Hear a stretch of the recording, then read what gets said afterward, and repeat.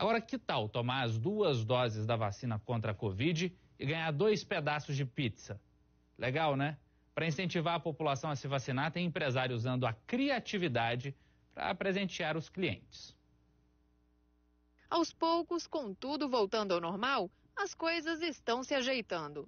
E para quem se vacinou contra a Covid-19, eu te garanto apenas pontos positivos. O primeiro, o risco menor de pegar a doença e ser até mesmo internado.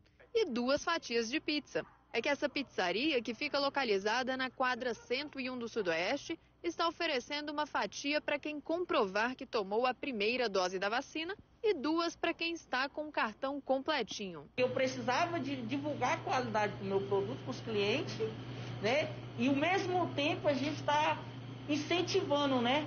Que é isso que eu achei interessante e foi isso que falei, não, vamos, vamos divulgar e vai dar tudo certo. E é isso, graças a Deus, né? Tá dando certo, é muita, muita gente vindo buscar fatia e, e é isso que é bom. A Tuane viu a promoção na internet e como não é boba nem nada, trouxe os amigos junto. A vacinação está em dia e a boquinha livre também. Achei muito bom a iniciativa, né?